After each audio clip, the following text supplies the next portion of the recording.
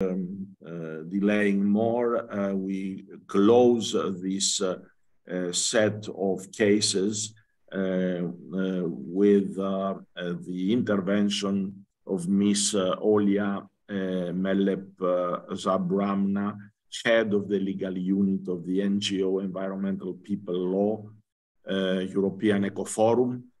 And it's a pleasure to have you with us. Uh, please take the floor.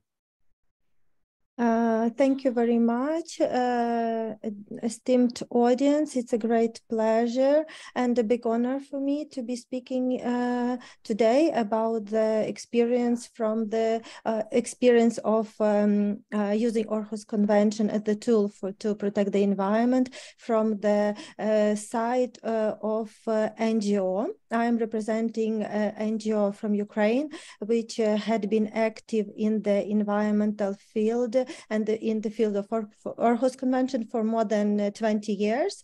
Um, I, I, think my first uh, appearance to the Aarhus Convention meeting was 15 years ago. So it's it's a long way, and we have very uh, positive, and a very positive experience of application of Aarhus Convention and positive experience of using Aarhus uh, forums uh, in order to advance the environmental protection and sustainable development. So as it was mentioned by previous speaker, Aarhus Convention is really very important tool uh, for the government, for the civil society. Uh, here on the slide, I was uh, trying to provide uh, some uh, citations of uh, uh from different countries uh, which uh, were awarded by the ministries, respective ministers of these countries. And they were talking um, they were explaining how important for their countries for their agency is the Aarhus Convention. So to be to be short um, I will not be reading all of these opinions but the main um, the main conclusions are that Aarhus Convention is the model of partnership between Aarhus, between uh, different stakeholders in the civil society. Uh, the Aarhus Convention focuses on the roles of the individuals and NGOs, and uh, it points out uh, uh, the contribution they can make to our common efforts to achieve sustainable development. Um, also, the Aarhus Convention is uh, being regarded as a tool for cooperation between members of the public and the governmental institutions. Um, and um, it opens uh, possibilities for all people who feel responsible uh, for the environment and uh, who want to protect the environment. So this this um, shows the importance of the Aarhus Convention for those parties who um, who have been implementing Aarhus Convention for uh, for many years. Uh, so um, Aarhus Convention is the legal tool um, pro, uh, signed on the international level, and it brings lots of uh, benefits on the national level and on the international level, um, especially for those countries which are parties to Aarhus Convention. So as um, for the uh, national level, I have to say that ratification of Aarhus Convention doesn't mean that the country beca becomes very much uh, complying and following it. Uh, it's actually um, adherence to Aarhus Convention is quite a long way, quite complicated way with with the challenges, but at the end you receive very good uh, good results. Um, so on the national level, for the party that uh, um, ratified Aarhus Convention, it sets the standards for uh, of environmental democracy for those who are making uh, who are producing for the uh, parliaments and those involved in the uh, law drafting process. Um, it also um, helps to ensure effective access to environmental information, not only to environmental information, but also to the public information. So Aarhus Convention provisions influence uh, um, all of the legislation on access to information, including uh, environmental information. Uh, also, uh, Aarhus Convention uh, ensures participatory manner of decision-making on different levels, national level, regional level, uh, local level, and this public public participation, um, uh, sometimes uh, it uh, at the beginning it was the challenge for the government to, adapt to this decision-making uh, process with the involvement of the public, and also it was the big challenge for the uh, public uh, because they were offered the opportunities, and sometimes they didn't know how to use those opportunities and how to make comments and how to be effective in participation in in the environmental decision making. Um, so also um, the third pillar of the Aarhus Convention is very important. It's uh, access to justice. So it broadens access to justice in the in cases related to the environment. So it opens uh, court for uh, affected communities, for affected citizens, and it's very important for them to um, to be able to to go to court when their rights were violated or where there are no other legal avenues to address their um, their problems, to address the environmental problems.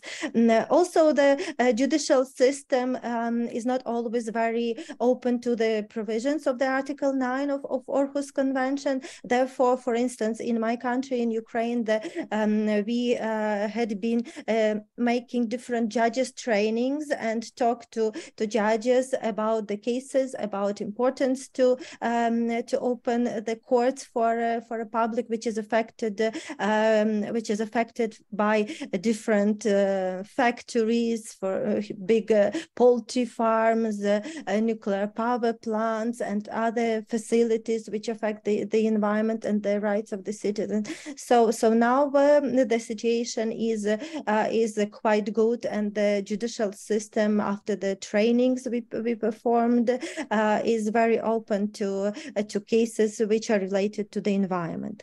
And also on the national level, the provision of the Aarhus Convention are opening uh, the mechanism for the protection of the activists, those vulnerable people who are suffering from the uh, pollution and also who are suffering from the persecution of their uh, on their own uh, or persecution of their families because of the activism, because of the um, of the need to uh, to protect their lives, to protect their children, kids, um, grandchildren, etc. So the Aarhus Convention is giving the standards and providing the prote protection to those who are exercising rights under uh, Aarhus Convention. So this is really uh, very important on the international level, um, um, Fiona yesterday made a great, uh, a great presentation on all of the um, uh, bodies, um, institutions operating on the international level, uh, which facilitate uh, Aarhus Convention application. Uh, so on the international level, those Aarhus Convention bodies, they are quite working very effectively and keeping the implementation of the Aarhus Convention under constant review, uh, which is very good for, for the parties. Uh, Aarhus also framework of the Aarhus Convention and its body is, uh, is the family of uh, uh, democracy and supporters and supporters of sustainable development. So it's very open and, and effective network of, um, of those who are passionate about the environment and the problems we are, we are challenging.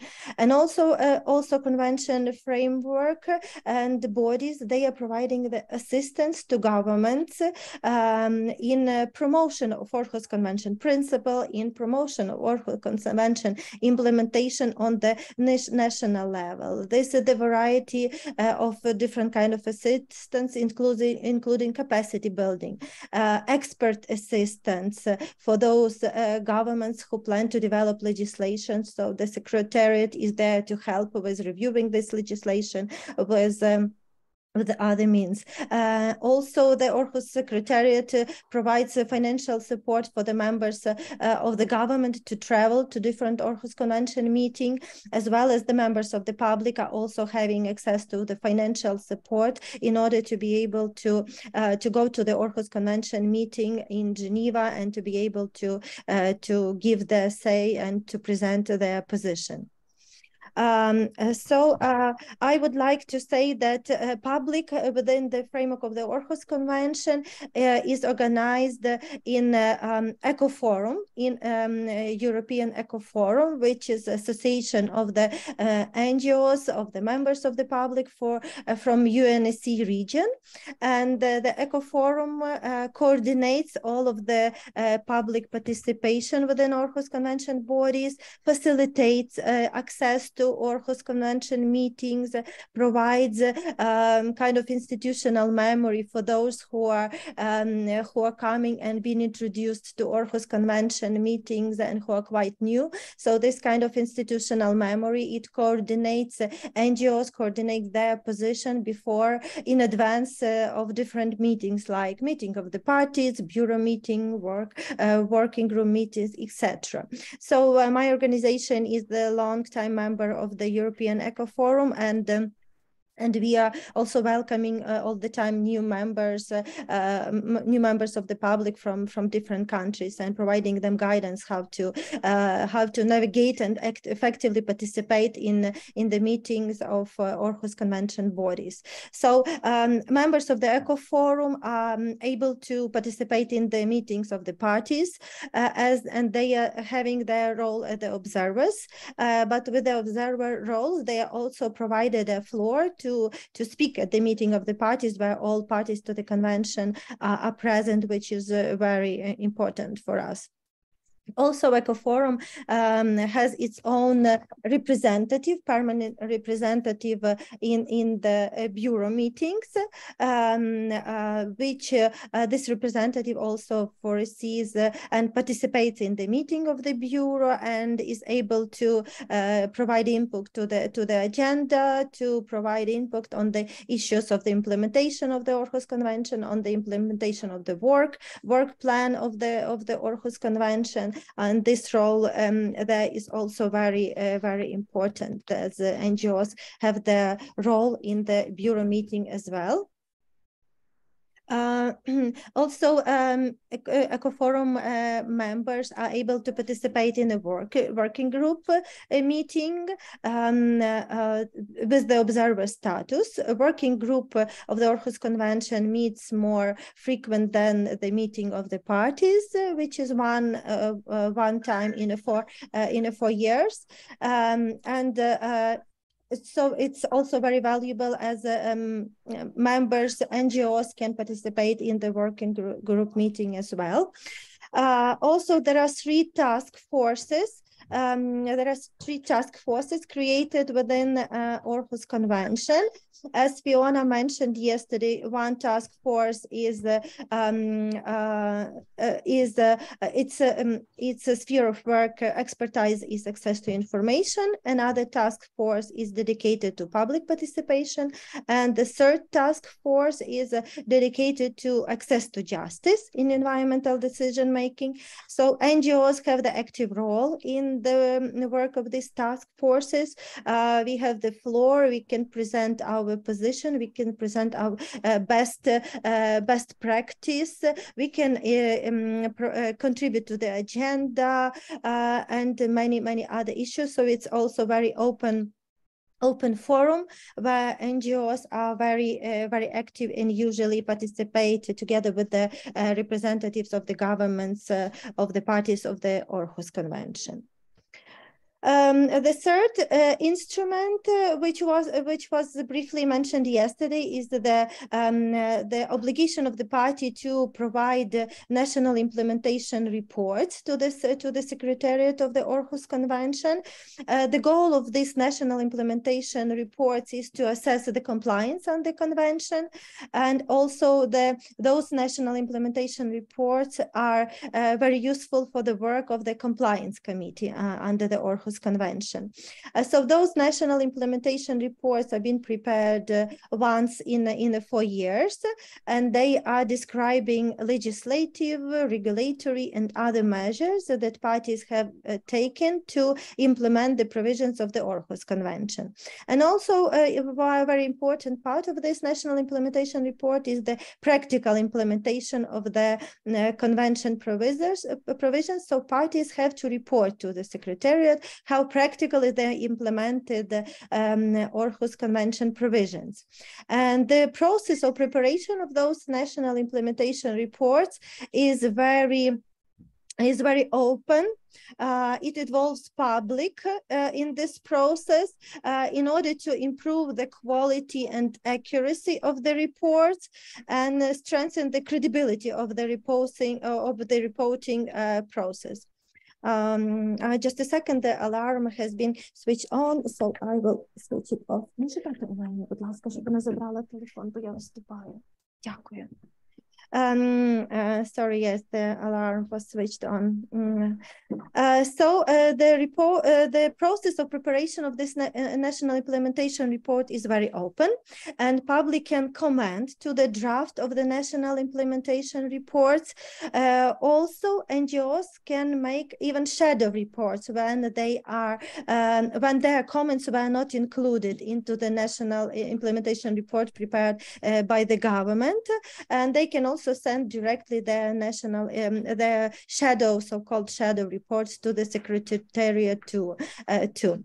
Uh, so uh, the um, the goal is to um, those usually those national implementation reports are prepared by or coordinated by the focal points to Aarhus Convention within the respective uh, ministries of environment and this uh, um, helps to facilitate uh, the process and the, the public usually is very active in the preparation of national implementation reports um, and also um, the, another issue which is very important for the for the members of the public and for the government and for the effective implementation of Aarhus Convention is the work of the compliance committee. You have heard a lot um, that this um, compliance committee is a very effective tool and uh, uh, the uh, non-governmental organizations have also the role to play there because uh, um, they uh, uh, they can trigger the procedure of Aarhus Convention Compliance Committee.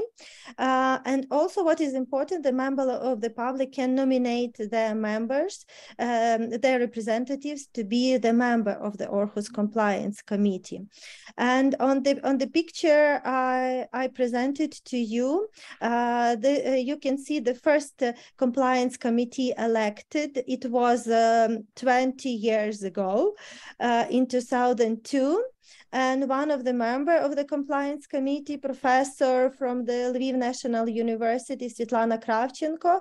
Uh, she was the founder of the NGO where I am working, and she was elected as a member of Aarhus Convention Compliant Committee, as the members are serving in their personal capacities, and they have to be to be independent, and they are being elected by uh, by the meeting of the parties. So from this example, you can see that also uh, uh distinguished members of, of the public, members of academia, they can be elected into the Aarhus Convention. Compliance Committee, serve there and review the implementation of the Aarhus Convention uh, by parties to Aarhus Convention. Uh, so um, with the next slide, I would like to give you a brief uh, um, case study from, uh, from Ukraine, how um, Ukraine implemented Aarhus Convention and how public participation procedures uh, um, are working in, in Ukraine. Uh, since, uh, since Ukraine ratified Aarhus Convention, we, we passed the respective legislation, namely the um, law on environmental impact assessment a few years ago.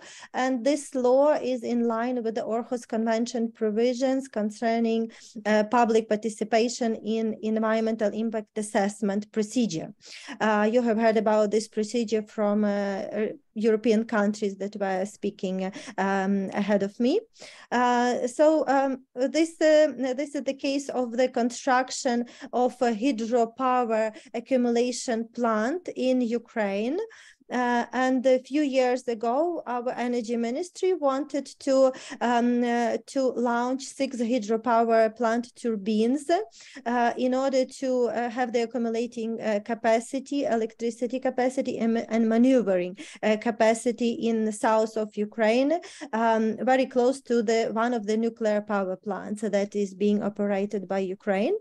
And this project was very dangerous for the environment as um, mm, uh, more than 55 hectares of the coastal areas of the river were to be flood, flooded. And those areas were, uh, were uh, the protected area of, of Ukraine with a special status. So it was illegal to, um, to damage the protected area.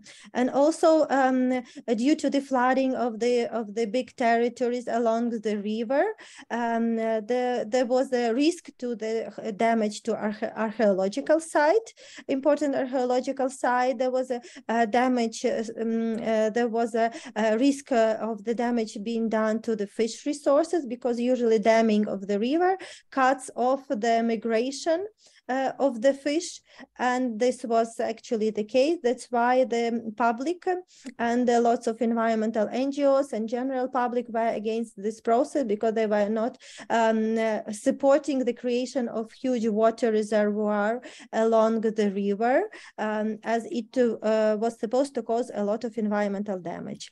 Uh, so the the procedure of environmental impact assessment started and in ukraine we have a special of environmental impact assessment procedure, where you can find all of the information, background information, where you can find environmental impact assessment report.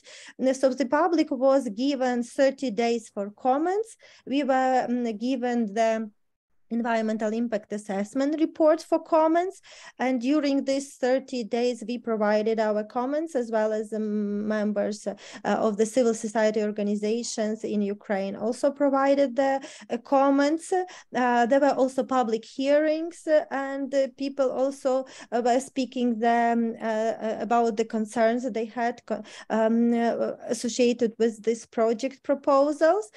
So um, at the end, the Minister of Environment, who is the EIA decision-making body in Ukraine, uh, they took into account the comments uh, of the public. They took into account the uh, violation of the environmental legislation due to this project, and they uh, issued uh, their negative opinion, saying that this uh, activity, damming of the river and flooding of the bank areas or protected areas, is illegal. Therefore, they cannot they cannot accept it. It's not acceptable critical from ecological point of view. So this uh, this is how Aarhus Convention is working uh, on practice.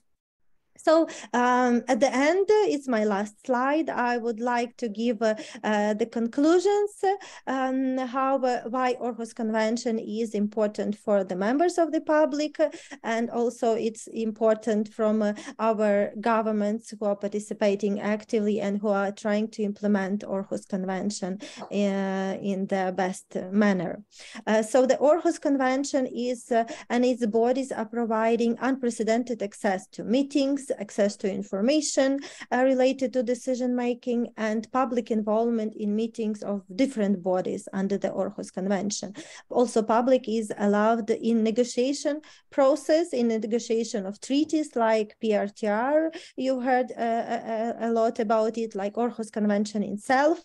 Members of my organization, um, our founder, she was also participating in the negotiation uh, of the Aarhus Convention Treaty itself.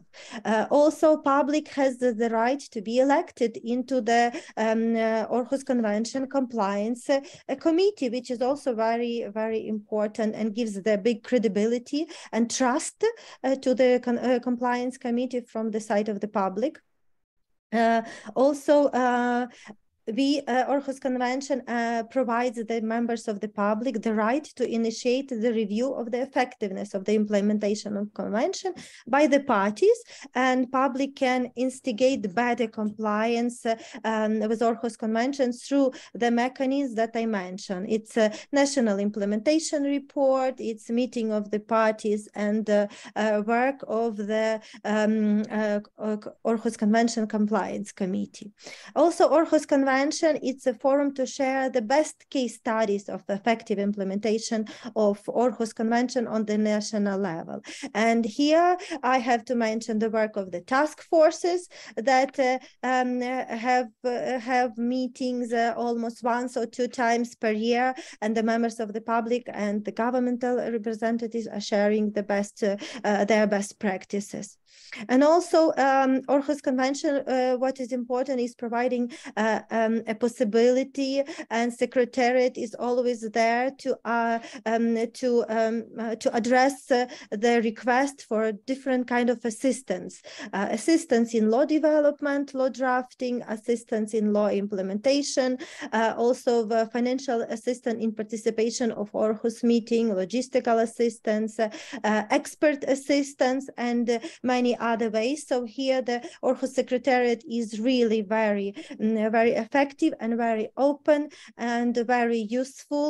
And uh, it, it's really working hard to make the Aarhus Convention effective and to accommodate uh, all of the needs of the parties, all of the needs of the members of the public, and also it's working, yes, for, for the better environment and for, for the better democratic uh, future of, um, of our governments, of, uh, of the countries. Uh, thank you very much for your uh, attention. And if you have question, I am I would be really happy to answer. Thank you. Thank you very much. Uh, thank you very much, uh, Olya, and uh, uh, thank you for your